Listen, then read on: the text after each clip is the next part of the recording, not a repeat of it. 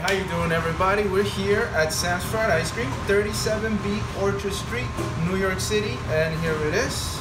It's all made. Hope you guys like it. Um, and now we're gonna see what they make here. You'll see their fried ice cream.